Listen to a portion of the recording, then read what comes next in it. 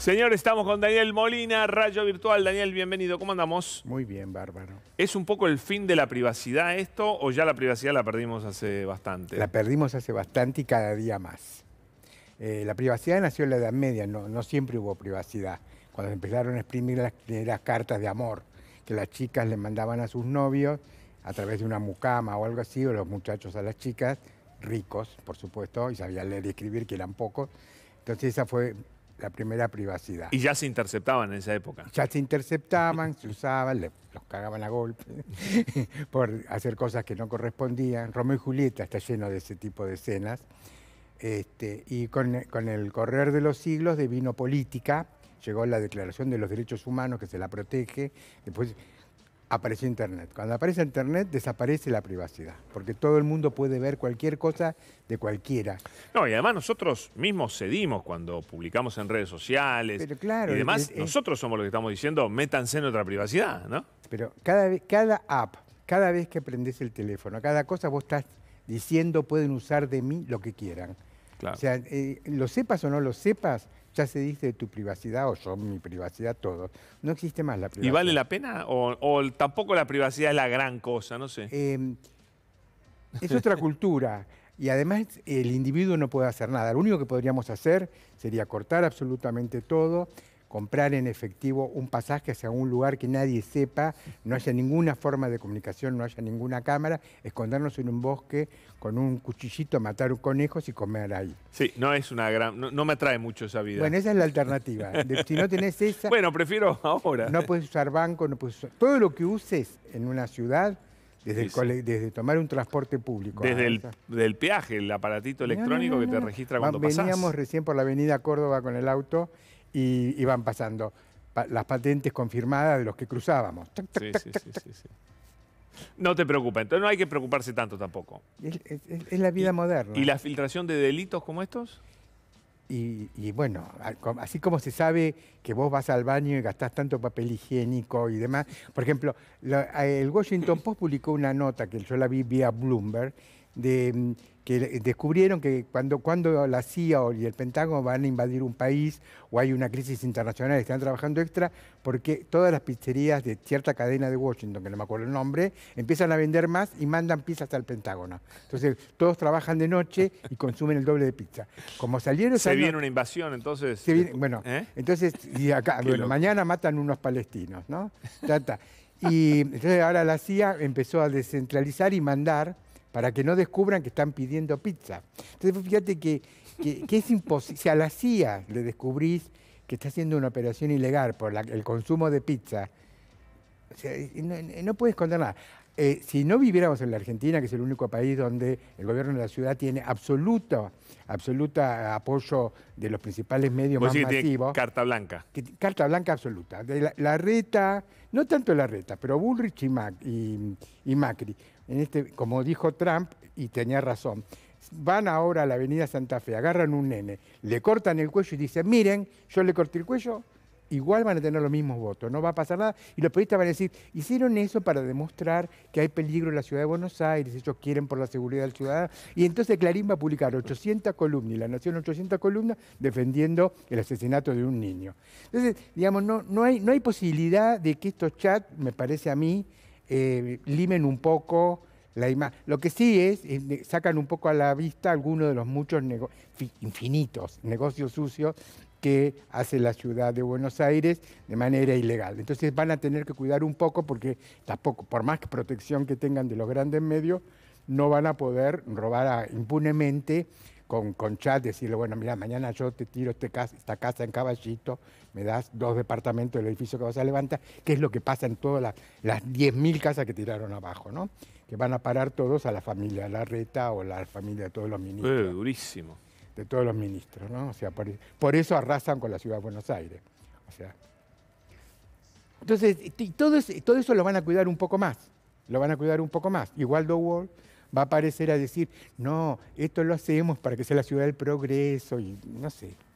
Listo, nada, to- toda, toda gilada. ¿Qué, qué ves en este año electoral, que siempre son los años más calientes, donde aparecen cosas más, eh, más, más, más fuertes, donde, donde de verdad pasan cosas que en un país donde pasa siempre de todo, bueno, en el año electoral pasa más todavía? Y mira, la Argentina tiene ten- en todos lados, no pasa esto, no, no es- nosotros no tenemos un invento. Lo que, hay- lo que es argentino es un poco la intensidad. Eh, tenemos tendencia a que sea más intenso lo sucio. Este, y sí, va a haber operaciones sucias, no sé cuáles serán. Tampoco me interesa mucho, porque ya sé que son sucias. Entonces, y que las, sac- las sacan justamente para mostrar cosas. De golpe, algunas de ellas, como bien dijo O'Donnell recién, este, nos sirven para enterarnos de trastiendas de inmundicia que hacen. Yo pienso tan mal del poder que te juro, de todos los poderes, de todos los poderes políticos, que... eh, ¿El poder siempre es esencialmente corrupto? el, poder es esencialmente corrupto desde que existe Estado. En la, este año voy a dar una- un curso en la Universidad de San Luis sobre las civilizaciones, cómo, cómo pasamos del nomadismo al sedentarismo, etcétera, y todos los imperios, desde el de Gengis Khan al romano, al inglés, todo, todo- todas las formas de organización, cómo, cómo, cómo se pensaron diferentes sistemas políticos. Y no existe, no existe sistema político sin violencia, sin corrupción, sin mentira y sin secreto. No existe, no, no, no, no, no, no existe. Eh, eh, hay presidentes que dan la imagen tipo Obama, yo soy maravilloso, nunca hice algo Limpio, malo, impecable, soy un el ángel negro. ¿No? Todo lo demás, no, no existe, no existe. Eso no quiere decir que Obama haya matado gente, qué sé yo, no lo sé. Bueno, sí, mandó matar montones, pero quiero decir, eh, no quiere decir que él sea un asesino, que sea, ha- haga cosas malas. Lo que sí quiero decir es, no me extrañaría si salen si- si- montones de cosas horribles durante la administración Obama. Digamos, a mí me gusta más Obama que lo que me gustaba Bush hijo, ¿no? Pero, pero no creo que haya sido un gobierno menos corrupto y menos dañino que el de Bush. ¿Y eso nos tiene que deprimir? Saber que siempre va a haber... Y es poder. como si nos deprimiera que vivimos en una ciudad y hay ruido y hay- hay- el aire no está totalmente limpio. Eh, vivimos, elegimos con la ciudad porque nos da otra cosa. Este sistema es horrible, es horrible. No hay sistema político, no es Obama. Es la reina, la reina Victoria, no era la reina, es la reina Isabel I en el 1600, es la reina Juana la Loca, es el rey que se te cante, eh, eh, es la Revolución Francesa. En todos hubo cosas malas y buenas. Entonces, cuando agarran y, digamos, eh, eh, nos han acostumbrado, y este es el principal daño que ha hecho Lilita a la mentalidad argentina, de que hay un- una lucha de dos ejércitos, como los Avengers versus los Los malvados, buenos y los los buenos malos. y los malos. Y que en el bando que está Lilita, Siempre ya, son los siempre buenos. son los buenos. Y ahora como está con Macri, qué sé yo, es el bando... Vos fíjate que para co- combatir la corrupción eligieron al PRO y a Macri. Es como para elegir, vamos a defender a los judíos y, y elegir a Hitler. O sea, es una cosa inaudita. Y la gente creyó que con ese bando combatían la corrupción. O sea, digamos, en general, el engaño político No, el masivo se discurso basa... de, de lucha contra la corrupción es una excusa para este, imponer tus ideas. O sea, Y además- para imponer tus ideas que ni siquiera las puedes publicitar porque son No. tan poco populares que mejor es, más populares luchar contra la corrupción. No, pero ade- además, mira, todos conocemos la anécdota del tipo que roba en la calle Florida un celular o lo que fuera, una billetera, y dice, aquel tipo fue. Entonces todos lo miran, el pobre tipo sale corriendo para que no lo linchen y el ladrón se va tranquilo. Bueno, eso es el pro. Eso es Lilita, ¿no? Es el que roba la billetera y dice, allá. Ahora, yo- el- Vos decís que la, Lili- para que diferencia, la claro, vos decís que diferencia- la es que cuando Lilita dice, allá hay un ladrón, hay un 98% de que también sea un ladrón.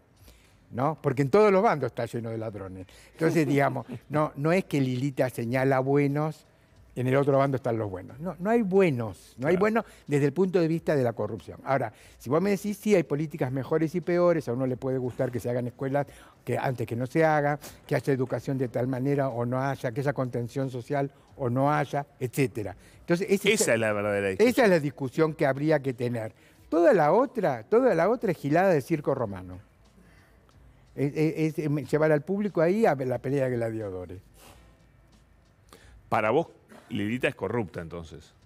Y cómo vive como una multimillonaria con el sueldo mínimo de un... Toda la gente, para un jubilado que gana 40 lucas, 50 el salario mínimo, o para mí que no gano el salario mínimo, que es una, pero es una miseria, yo también soy jubilado, tengo otros ingresos porque hago muchas cosas, pero si viviera de mi jubilación no, podría ni tomar colectivo.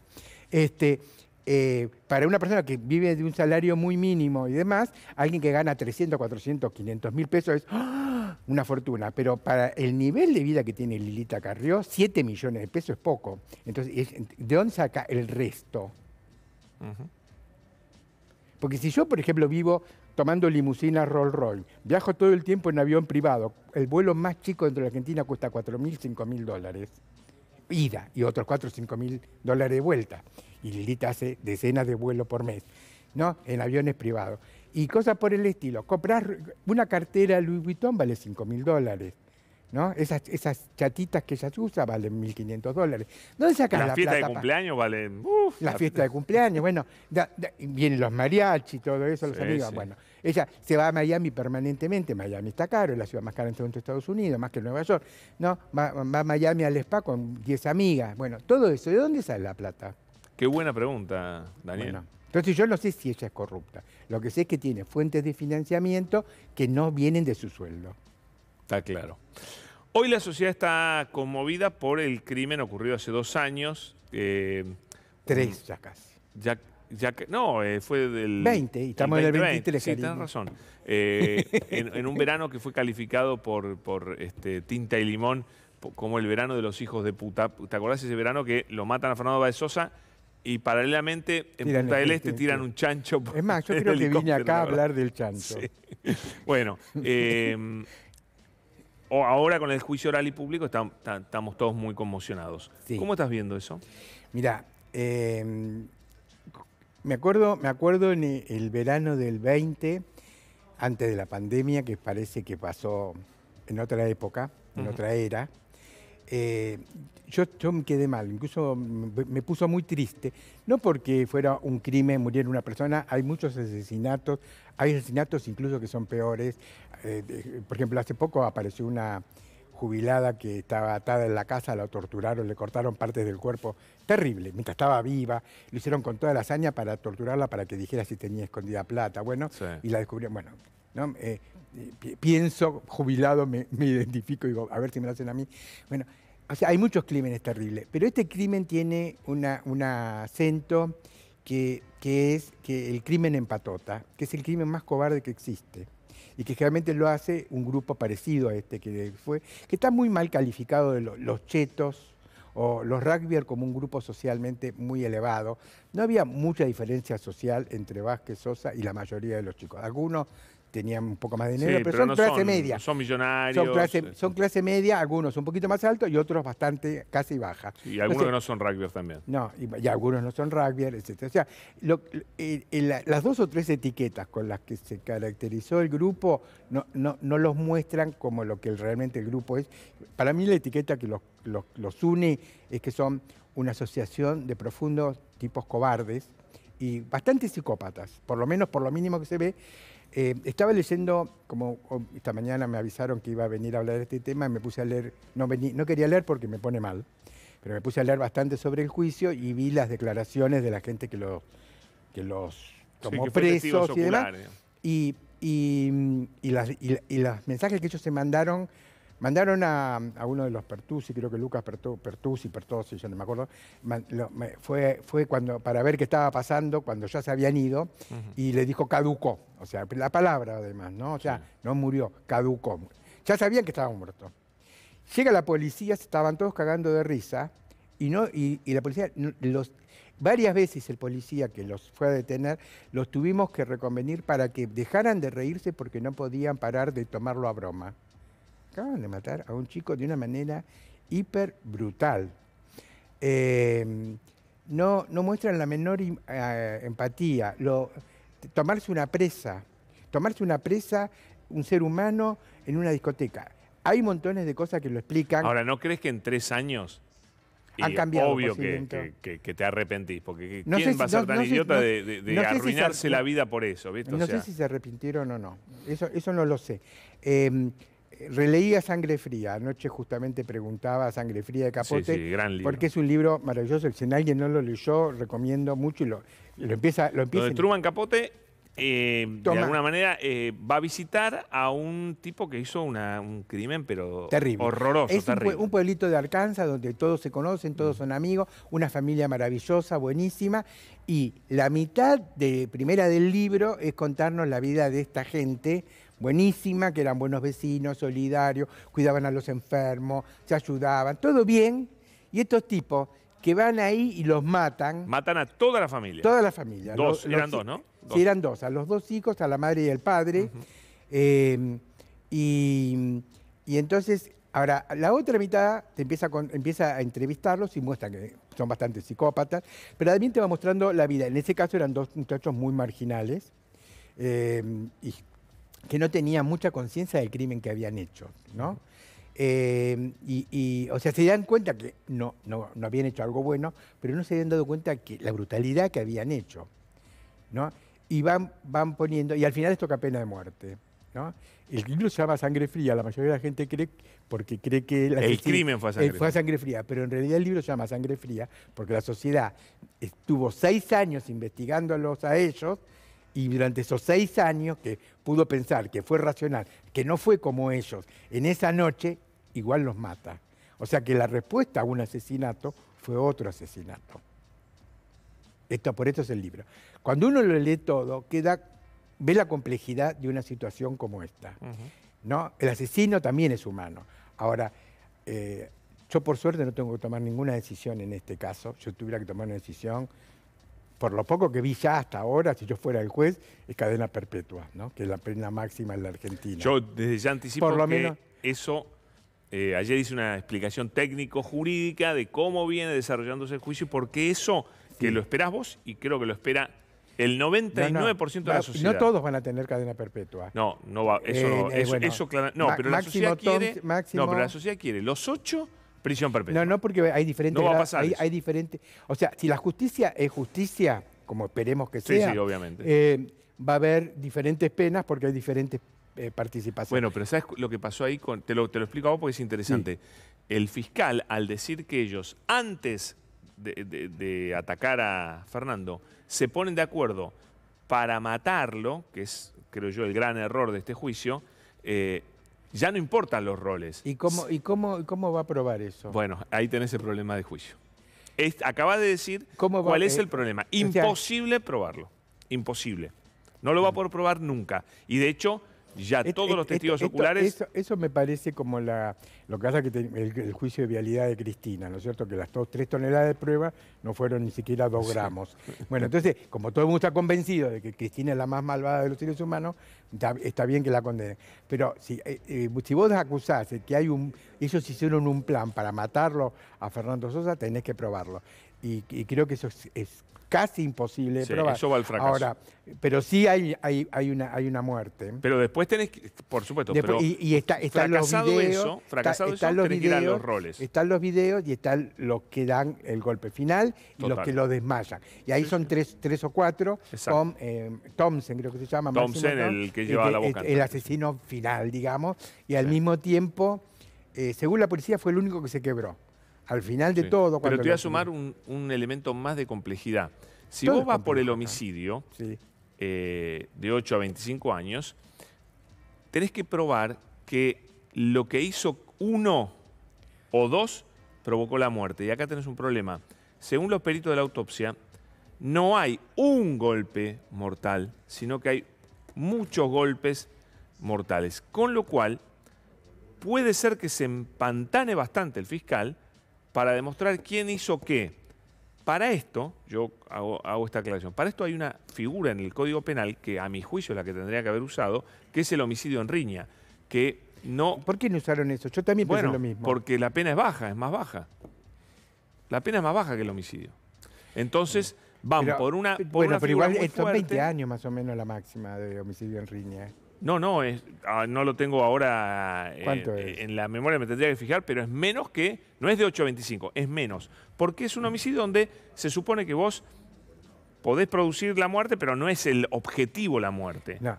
Eh, Porque acá lo que no se puede probar, como dijimos antes, es que el objetivo era, era asesinar. Bueno, ¿entendés? hay una cosa, otra, otra cosa. En estos días escuché mil cosas. Si uno, si uno por, por casualidad trata de pensar la locura que fue eso. Para dos a seis años, acá lo, lo miraron rápido. Dos Do- a seis años el homicidio en. Imagínate Bueno. que le dan seis años, prenden fuego el juzgado. No, eso seguro. Pero eh, hay gente que dice, 30 años no hay que matarlo porque 30 años no es nada. Yo la verdad, yo estuve preso 10 años, le puedo asegurar que esa, la persona que dice 30 años Para que lo nada, dijiste, lo dijiste así nomás. le dan Estuviste preso 10 años. Le dan, le dan cuatro horas en un calabozo y se suicida. La gente que dice esa, 30 años es nada. Eh, no tiene la idea lo terrible que es estar en la cárcel. Eh, esto no, quiere, no quiero... eh, yo te dije, si yo dependiera de mí, yo les doy cadena perpetua. Sí, no es que nadie tiene que ir a la cárcel, no, no, No. querés decir eso. No, eh, eh, creo que la cárcel no sirve para nada. Ah. Pero, Buen punto. pero, no sirve para nada. No sirve para nada. Es más, es una escuela para que salgan peores. O sea, por lo tanto, no va a haber reconversión, no va a haber mejora, nada. Van a salir iguales o peores. Eh, van diferentes, diferentes seguro, porque eh, alguien que entra con 21 años y sale con 51, pongamos, o 48, o 42, o 65, si no le van dando las salidas, como ahora pasa con Mm. Robledo Puig, por ejemplo, que podría salir. Yo nunca entendí por qué no lo dejaron salir a Robledo Puig. Sí. Porque tampoco. después de cumplir una condena, tenés que poder salir. Bueno, eso son lo- es lo que dicen también los que se oponen a la prisión perpetua, que eh, su- suponemos que todos tienen una oportunidad de resocialización, sobre todo aquellos que Sí. fueron eh, presos muy jóvenes, ¿no? en, e- en este caso, el crimen eh, este y los crímenes de Robledo Puig son excepcionales. Uno por serial, el caso de Robledo Puig, de matar a sangre fría a un montón A de gente sin, sin ningún otro motivo que el placer de matarlos. Y en este caso, por el, el patoterismo y el hecho de, de gozar de esa muerte y seguir gozando cuando los detenían y todo, y no mostrar ninguna... eh, eh, yo creo Pasa que los comportamientos en patotas son bastante irracionales, ¿no? son irracionales, son irracionales. Además había mucho alcohol. La cantidad de, de botellas que hoy leí, que porque leí, viste, me puse a leer y era como para embo- emborrachar un cosaco, o sea que viste, alguien que se tomaba siete botellas de vodka. Eh, tom- tomaron de todo, ¿no? Eh, así que eh, es- eso baja muchísimo, ya sabemos el efecto del alcohol, baja muchísimo el nivel de, tol- de into- de tolerancia a los frenos morales y Los éticos. frenos inhibitorios. sí. Sí, eh, no nos olvidamos una cosa, desde que salimos de el, mono hace 6 millones de años hasta 300.000, el primer Homo sapiens, esos cinco, éramos animales muy salvajes. Y desde el primer Homo sapiens hasta los primeros contactos civilizatorios de hace 3.000 años, más o menos 4.000 años, fuimos animales muy violentos y todos los cadáveres que se encuentran, más o menos de los guerreros griegos, los sumerios, etcétera, hasta la Edad Media, incluso hasta la guerra, por ejemplo, de la independencia de Estados Unidos y demás, están muy mutilados y muy. porque había muchísima violencia y la mayoría de los varones moría violentamente. Somos animales sangrientos. La civilización nos va haciendo cada vez más civilizados y menos violentos. Por eso no nos matamos y por eso no hay todos los días, por suerte, este tipo de monstruosidades. Pero apenas se nos bajan la, Bueno, la- vemos la educación. Cosas, vemos cosas, yo no sé si has visto, a mí me gusta, debo confesar que me gusta mucho la UFC, por Sí. ejemplo. Es de un nivel de violencia No, eh, no. Oíme, muy fuerte. Hoy, hoy leí, esta tarde, que ayer en Santa Fe, en un pueblito de Santa Fe, había una fiesta tipo la cerveza, no sé qué diablo. Un chico fue, se tropezó otro, le tiró la cerveza, fueron 20, hicieron el caso Sosa casi, se salvó, todavía no sabemos de milagro, está muy, muy mal herido, ¿no? Entre 20. Y el padre fue a la casa con un montón de patoteros. El padre de uno de ellos lo agarraba, que si el otro estaba, era un guiñapo, y lo agarraba para que el hijo le siga pegando. La policía no se lo podía sacar de las manos. Eso fue ayer, Qué anoche. locura, qué locura. Bueno, Vos digo, decís que no evolucionamos tanto. evolucionamos mucho, pero partimos de un nivel de violencia Ah, terrible. Entonces nos olvidamos que abajo de esta ropa hay un mono, y de esa también, y de los que nos están mirando también. Hay un mono capaz de, de- de comerte con los colmillos, ¿viste?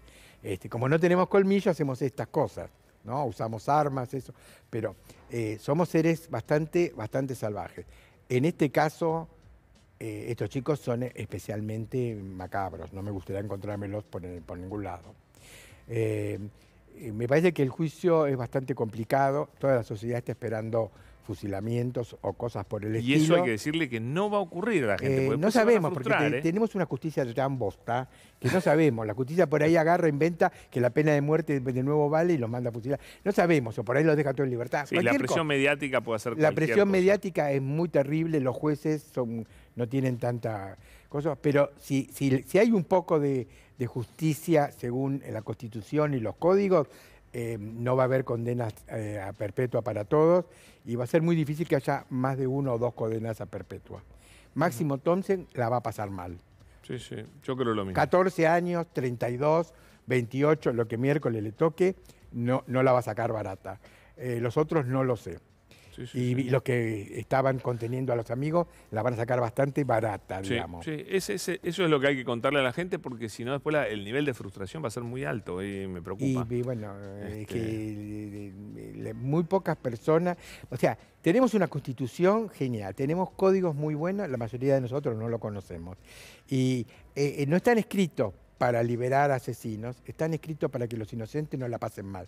Mirá el caso del chico Remero el que lo acusaron, este Máximo Thompson, que otro rasgo más que te muestra que no quiero ser amigo de él. ¿no? Igual me gustaría entrevistarlo, te juro que me gustaría entrevistarlo y hablar con él. Este, no va a pasar, pero me gustaría, me gustaría conocerlo. Este, y solo, no, no, no, no mm. sacarlo de la patota, que hable, que piense. Eh, eh, lo manda, en cana y era el pibe que le hacían bullying. No le pegaron porque era grandote, etcétera, y como son todos cobardes, no se animaron a que el otro les diera un roscazo. Entonces le hacían bullying, pero no le pegaron. ¿No? Ahora, apenas viene la cosa, esta cosa de él y lo mandan preso. si el padre no hubiera movido cielo y tierra y tuviera la suerte de que fueron a comer en un lugar donde había cámara y, el dueño del local había guardado la cámara y, figuraba que a la noche anterior había estado en Zárate, el chico ese ahora estaba en juicio. Eso es terrible. Entonces la ley, cuando da garantías, es para que los máximos, para que este chico, el, que, fue, que le hicieron bullying, no, no esté preso. Entonces, eh, es mejor largar. Te digo, con todo lo terrible que es, es mejor que se pierda de jugar algún asesino. No, bueno, eso dice Zaffaroni y le caían mejor un culpable libre que un inocente preso. Bueno, no se le dice Zaffaroni, eso viene no, ya sé, viene desde Grecia. Sí, digamos, Zaffaroni lo repitió acá masivamente y quedó como el que inventó la garantía constitucional. La garantía constitucional la inventó la Constitución Argentina en 1853, que viene de la Constitución de San Francisco de 1850, que viene de los derechos humanos de Francia de 1789. Entonces, es la modernidad la que nos ha hecho más civilizados. Respetemos eso, pongámonos contentos. Por ahí se salva un monstruo de estos la verdad que me, cuesta decir que son monstruos, pero la verdad como han actuado como monstruos. Daniel, gracias. ¿eh? Un placer siempre charlar con vos. Muy profundo y, muy, muy Siempre aprendemos algo con vos. gracias. bueno, ¿Eh? Gracias. Aunque mal que te pese, aprendemos con vos. Este,